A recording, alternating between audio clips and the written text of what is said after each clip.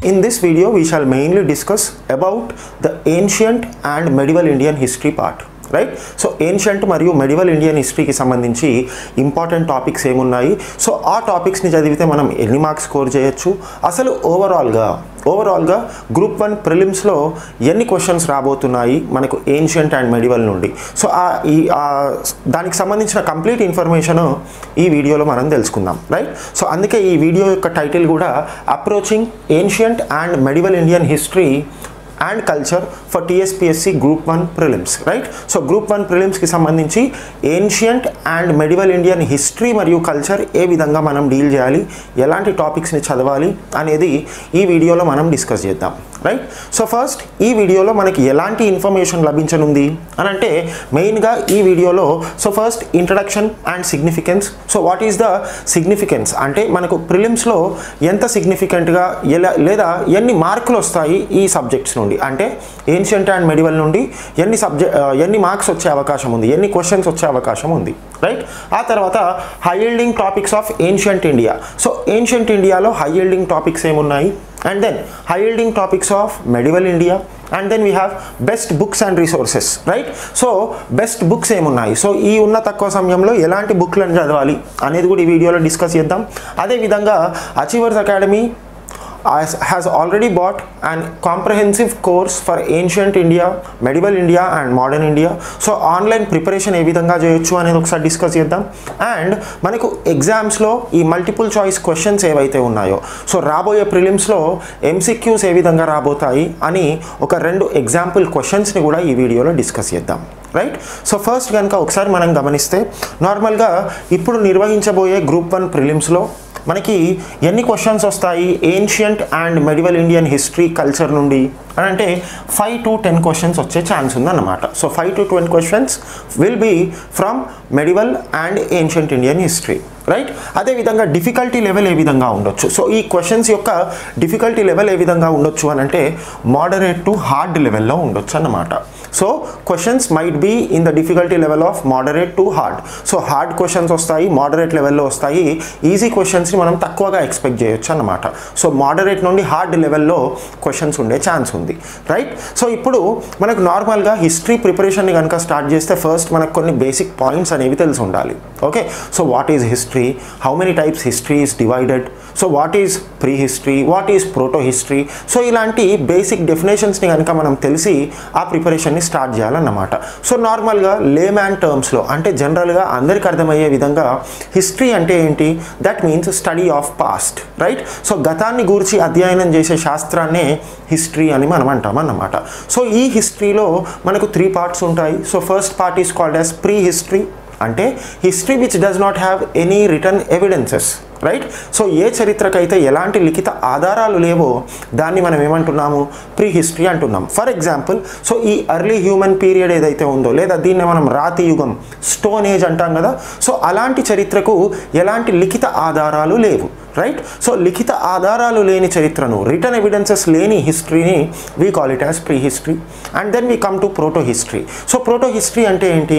So నార్మల్గా there is return evidences లేదా there are written evidences but though those written evidences are not yet deciphered అంటే లిఖిత ఆధారాలు ఉన్నాయి కానీ ఆ లిఖిత ఆధారాల్లో రాసి ఉంది ఏంటో ఇంతవరకు ఎవరు చెప్పలేకపోయారు. ఇలాంటి చరిత్రని మనము protohistory అంటామన్నమాట right example Indus valley civilisation అన్నమాట రైట్ ఆ తర్వాత హిస్టరీ లేదా మోడర్న్ హిస్టరీ అంటాము. సో మోడర్న్ హిస్టరీ అంటే ఏంటి?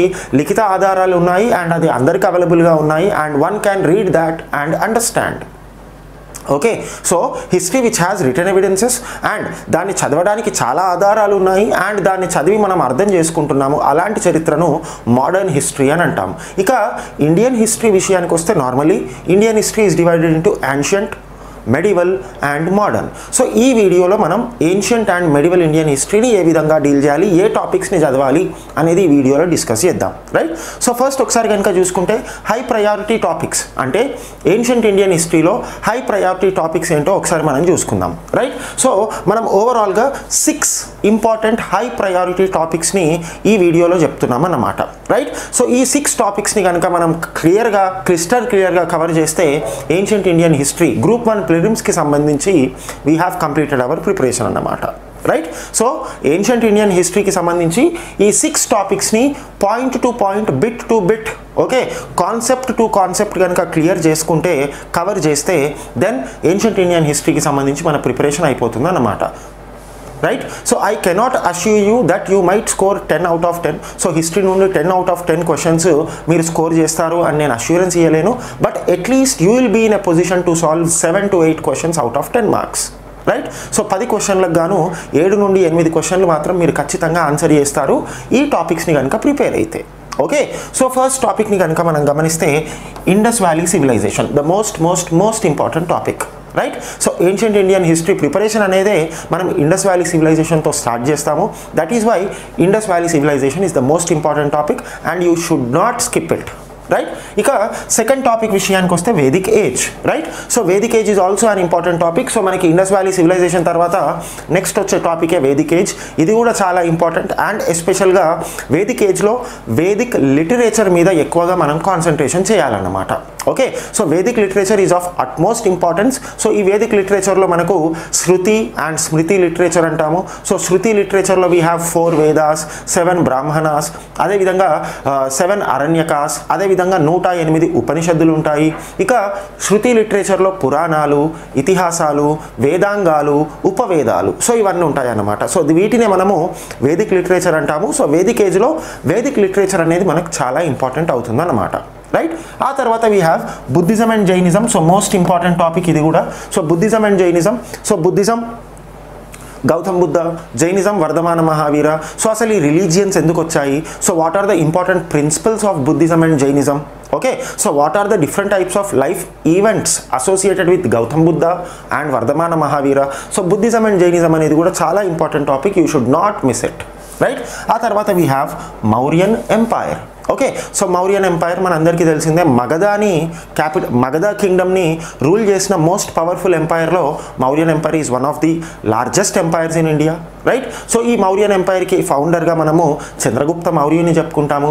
అండ్ మొత్తం ఈ Mauryan ఎంపైర్లోనే greatest king Ashoka so Mauryan empire Mauryan administration Mauryan society Mauryan economy so ఓవరాల్గా A to Z of Mauryan ఎంపైర్ని మనము క్రిస్టల్ క్లియర్గా కవర్ చేయాల్సిన అవసరం ఉంటుందన్నమాట. Right so Mauryan empire most important topic గుర్తుపెట్టుకోండి.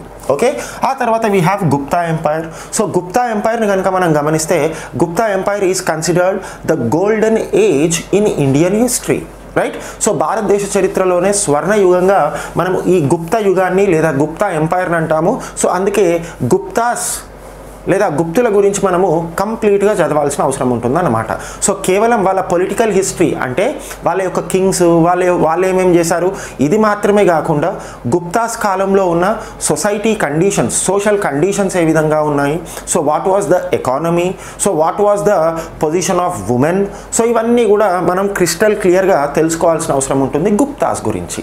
రైట్ సో ఇది మన ఫిఫ్త్ టాపిక్గా ఉంటుంది. ఇక శాతవాహన ఎంపైర్ సో మనకి ప్రిలిమ్స్ అదేవిధంగా మెయిన్స్ సిలబస్ని కనుక మనం గమనిస్తే in case if you have gone through the syllabus so సిలబస్లో మనకి ఏన్షియంట్ ఇండియన్ హిస్టరీ దగ్గర శాతవాహనాస్ అని కూడా మెన్షన్ చేశారు కాబట్టి ఈ శాతవాహాస్ని మనము ఏన్షియంట్ ఇండియన్ హిస్టరీలో భాగంగా కవర్ చేయాల్సిన అవసరం ఉంటుంది అన్నమాట రైట్ సో శాతవాహన ఎంపైర్ కూడా చాలా ఇంపార్టెంట్. సో భారతదేశ చరిత్రలోనే అత్యధిక మంది రాజులు ఉన్న వంశంగా శాతవాహన వంశాన్ని మనం చెప్పుకుంటాం.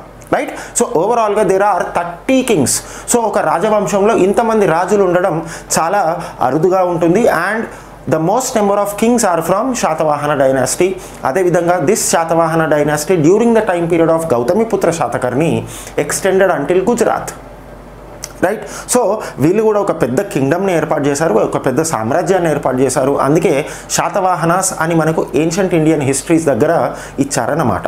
సో ఈ సిక్స్ టాపిక్స్ని మనము పాయింట్ టు పాయింట్ కవర్ చేస్తే ఏన్షియంట్ ఇండియన్ హిస్టరీ నుండి ఫర్ సపోజ్ ఫైవ్ క్వశ్చన్స్ వచ్చాయనుకోండి త్రీ టు ఫోర్ క్వశ్చన్స్ని మీరు కరెక్ట్గా మార్క్ చేసే ఛాన్స్ ఉంటుందన్నమాట. రైట్ సో ఎప్పుడైనా గుర్తుపెట్టుకోండి ఫైవ్కి ఫైవ్ లేదా టెన్కి టెన్ మార్క్స్ సాధించడం మన గోల్ కాదు. ప్రతి సబ్జెక్ట్లో ప్రతి సబ్జెక్ట్కి సంబంధించిన క్వశ్చన్స్లో ప్రతి సబ్జెక్ట్ నుండి టెన్ క్వశ్చన్స్ వచ్చాయంటే we must be in the position to solve seven to eight questions ఇది మన టార్గెట్గా ఉండాలి.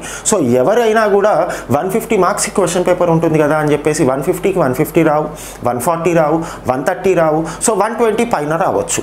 రైట్ సో మన టార్గెట్ ఏంటి అని అంటే వన్ టెన్ నుండి వన్ ట్వంటీ మధ్యలో స్కోర్ చేయాలి.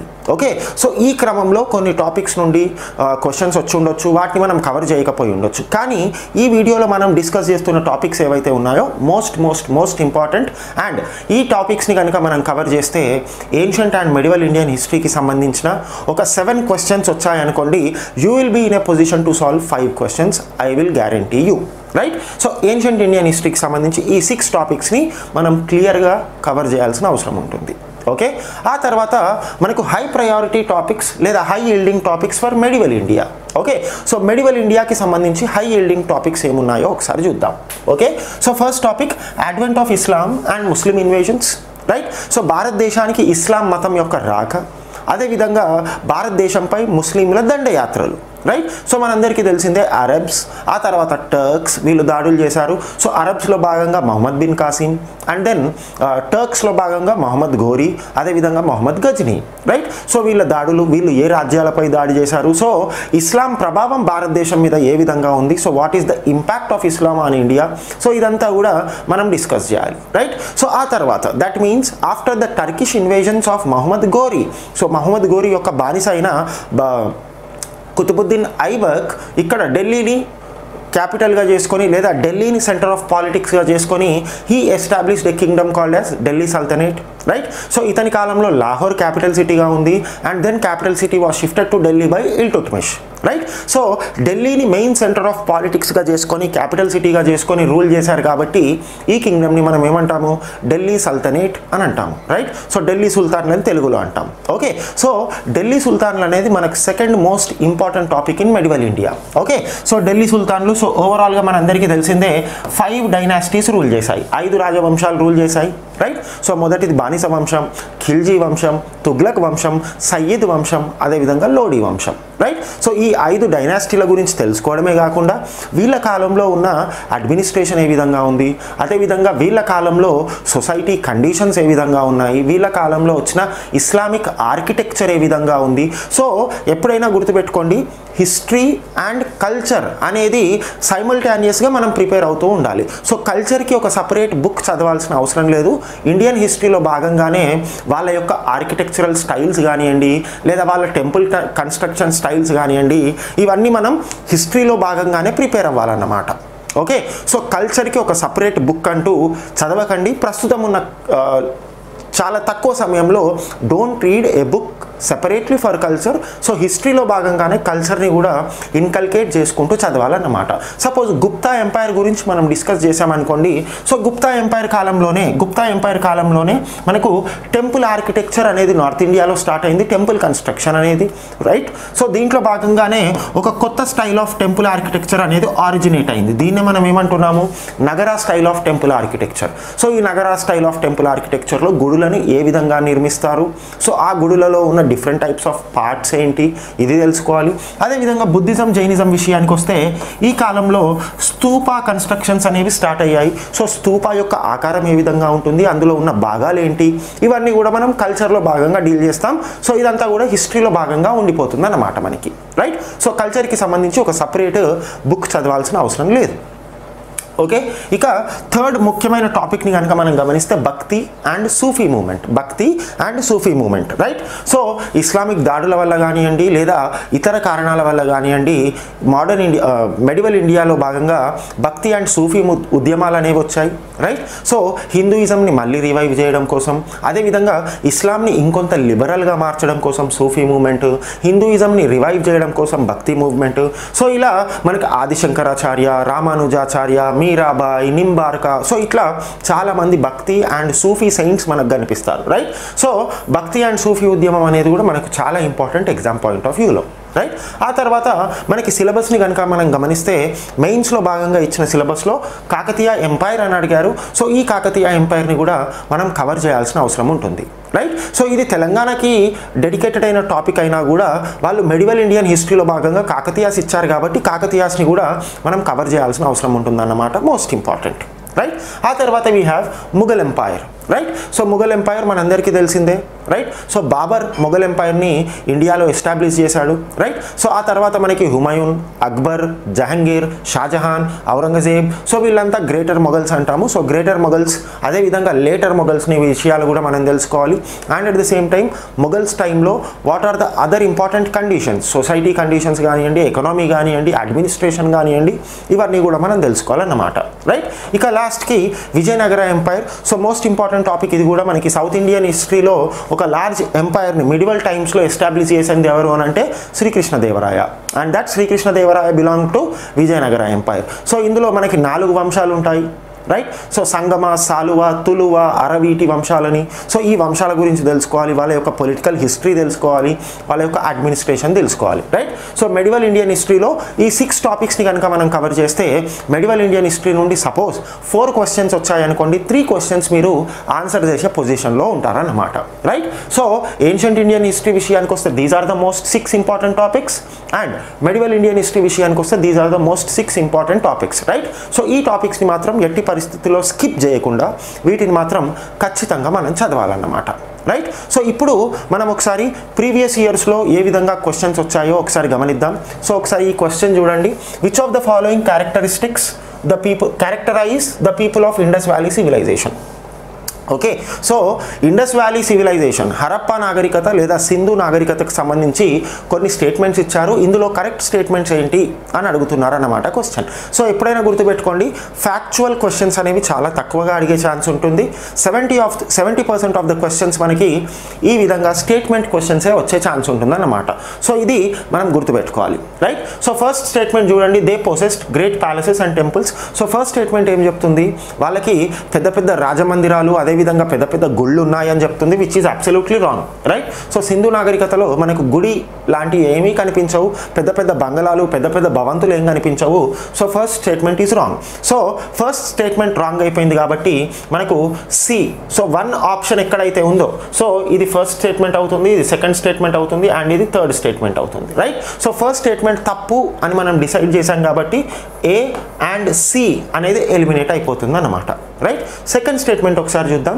They worshipped both male and female deities so మనందరికీ తెలిసిందే ఇండస్ వ్యాలీ సివిలైజేషన్లో భాగంగా వాళ్ళు స్త్రీ దేవతని అదేవిధంగా పురుష దేవుణ్ణి కూడా వర్షిప్ చేశారు అని చెప్పేసి. రైట్ సో స్త్రీ దేవతని మనం మదర్ గాడెస్ లేదా అమ్మ తల్లి అంటున్నాము. అండ్ పురుష దేవుడి విషయానికి వస్తే he was called as Pashupati right so ఇద్దరు మగ మరియు ఆడ దేవతలు ఉన్నారు కాబట్టి సెకండ్ స్టేట్మెంట్ కరెక్ట్ అవుతుంది. ఓకే సో ఇప్పుడు మనకి ఆన్సర్ దగ్గరికి అరైవ్ కావాలి అంటే థర్డ్ స్టేట్మెంట్ కరెక్టా కాదా తెలియాలి. Right so they employed horse drawn chariots అంటే వాళ్ళు గుర్రపుతో పని గుర్రంతో పనిచేసే లేదా గుర్రపు రథాలను ఉపయోగించారు అని థర్డ్ స్టేట్మెంట్ చెప్తుంది. సో మనకు ఇండస్ వ్యాలీ కాలాన్ని కనుక మనం గమనిస్తే ఇండస్ వ్యాలీ ప్రజలకు అసలు తెలియని జంతువే గుర్రం. సో మరి వాళ్ళకు గుర్రాలు తెలుసు లేదా గుర్రాలతో రథాలు వాడారు అనే విధంగా చెప్పగలం? So this is also wrong statement. So ఇప్పుడు మన ఆన్సర్ ఏమవుతుంది? దట్ ఈస్ బి అంటే సెకండ్ స్టేట్మెంట్ మాత్రమే కరెక్ట్ అన్నమాట. సో ఇలాంటి క్వశ్చన్స్ని మనం సాల్వ్ చేయాలి అంటే మనకి ఎంటైర్ కాన్సెప్ట్ మీద కంప్లీట్ గ్రిప్ ఉండాలన్నమాట. ఓకే? ఆ తర్వాత నెక్స్ట్ క్వశ్చన్ చూద్దాము. With reference to Mughal India అంటే మొఘలుల కాలానికి సంబంధించిన భారతదేశానికి గురించి రెండు స్టేట్మెంట్స్ ఇచ్చారు. సో ముఖ్యంగా వాళ్ళ కాలంలో ఉన్న జాగీర్దారీ మరియు జమీందారీ సిస్టమ్లకు సంబంధించి మొఘల్స్ కాలంలో ఉన్న జమీర్దారీ అదేవిధంగా జాగీర్దారీ సిస్టమ్కి సంబంధించి టూ స్టేట్మెంట్స్ ఇచ్చారు. సో ఈ టూ స్టేట్మెంట్స్లో కరెక్ట్ స్టేట్మెంట్స్ ఏంటి అనేది మనం డిసైడ్ చేయాలి. Right so jagirdars were holders of land assignments in lieu of judicial and police duties whereas the zamindars were holders of revenue rights without obligation to perform any duty other than revenue collection. Okay? So ఇక్కడ సింపుల్గా ఏం చేశారు అని అంటే reverse ఇచ్చేశారన్నమాట. Land assignments to jagirdars were hereditary and revenue rights of zamindars were not hereditary so ఇప్పుడు ఒకసారి మనం answer తెలుసుకున్న తర్వాత we'll come to the discussion so ఇప్పుడు ఆన్సర్ ఏంటి దీనికి? అని అంటే neither one or two is correct so రెండు స్టేట్మెంట్లలో ఏ స్టేట్మెంట్ కూడా కరెక్ట్ కాదన్నమాట. సో ఇక్కడ సింపుల్గా ఏం చేశారు అనంటే రివర్స్ ఇచ్చారన్నమాట. ఓకే సో ఇక్కడ ఏమంటున్నారు? Jagirdars were holders of land assignments in lieu of judicial and police duties okay so జాగీర్దారులు అనేవారు వారు పర్ఫామ్ చేసే న్యాయ న్యాయ అధికారాలు అదేవిధంగా పోలీస్ విధులకు సంబంధించి వాళ్ళకు కొన్ని భూములు ఇస్తే వాళ్ళు జాగీర్దారులు అంటున్నారు అన్నమాట ఫస్ట్ స్టేట్మెంట్లో కానీ ఇది తప్పు. ఆ విధంగా పనిచేసే వాళ్ళు ఎవరు? జమీందారులు అన్నమాట. సో జమీందారులకు కొన్ని భూములు భూములు ఇవ్వబడతాయి. దేనికి సంబంధించి? అంటే వాళ్ళు న్యాయ విధులు అదేవిధంగా పోలీస్ విధులు నిర్వర్తించినందుకు గాను జమీందారులకు కొన్ని భూములు ఇవ్వబడతాయి. కానీ ఇక్కడ ఏమంటున్నారు జాగీర్దారులకు ఆ స్టేట్మెంట్ని చెప్తున్నారు. చెప్తున్నాడు కాబట్టి దట్ ఈస్ రాంగ్ అదేవిధంగా జాగీర్దార్స్ అంటే ఎవరు మరి? జాగీర్దార్స్ అంటే they were the holders of revenue rights okay so పన్ను వసూలు చేసే అధికారం ఉన్న వాళ్ళను మనము జాగీర్దారులు అని అంటాం అన్నమాట. ఓకే సో ఈ విధంగా రివర్స్ ఇచ్చారనమాట ఆ తర్వాత land assignments to jagirdars were hereditary and revenue rights of zamindars were not hereditary so ఇది కూడా మనకు తప్పు స్టేట్మెంట్ అన్నమాట. ఓకే సో జాగీర్దార్లకు ఇచ్చే భూములు ఏవైతే ఉన్నాయో అవి వంశ పారంపర్యం కాదు. కానీ కానీ జమీందారులకు ఇచ్చే జమీందారులకు ఇచ్చే భూములు ఏవైతే ఉన్నాయో అవి వంశపారంపర్యంగా వస్తాయన్నమాట. రైట్ సో ఇది ఈ విధంగా మనకు ఇలాంటి క్వశ్చన్స్ని సాల్వ్ చేయాలంటే ఎంటైర్ కాన్సెప్ట్పై మనకు కంప్లీట్ అవగాహన ఉండాలన్నమాట. సో అప్పుడే మనం ఇలాంటి క్వశ్చన్స్ని సాల్వ్ చేయగలం. రైట్ సో దీని యొక్క answer that is D neither one or two why రెండిట్లో ఏ స్టేట్మెంట్ కరెక్ట్ కాదు. రైట్ సో ఇప్పుడు అచీవర్స్ అకాడమీ విషయానికి వస్తే మనకి అచీవర్స్ అకాడమీ మెయిన్గా బుక్ లిస్ట్స్ని కూడా మెన్షన్ చేస్తుంది. సో ఒకసారి బుక్ లిస్ట్ గురించి కనుక మనం చూసుకుంటే నార్మల్గా ఏన్షియంట్ ఇండియన్ హిస్టరీకి ఆర్ఎస్ శర్మ అనే బుక్ అదేవిధంగా మెడివల్ ఇండియన్ హిస్టరీకి సతీష్ చంద్ర అనే బుక్ అందరు రికమెండ్ చేస్తూ ఉంటారు right so these are very good books so ఈ బుక్స్ని మనం ఎట్టి పరిస్థితుల్లో చదవాలి.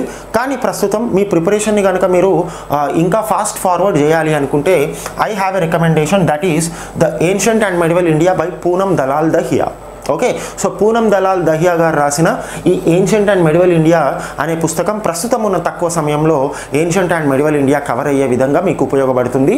In case if you want to start your preparation ఈ బుక్ని మీరు ప్రిఫర్ చేయండి అన్నమాట.